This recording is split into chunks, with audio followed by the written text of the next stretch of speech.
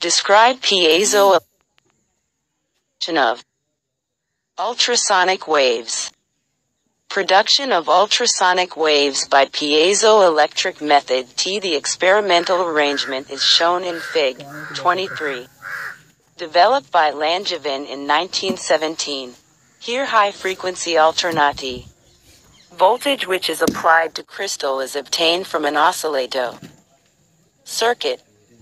An X-cut quartz crystal is placed between metal plates M and N connected to the coil L. The coil L hmm. is connected in the plate circuit of the valve. The COF T with capacitor C is known as tank circuit and it is connected between the grid and cathode of the valve. The coils L, L, and L are inductively coupled.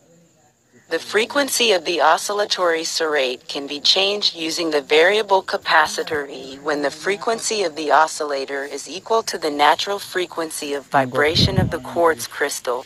Then the crystal is set into resonant mechanical vibration producing ultrasonic waves in the surrounding medium. If the crystal vibrates at natural frequency, it can be shown that 12.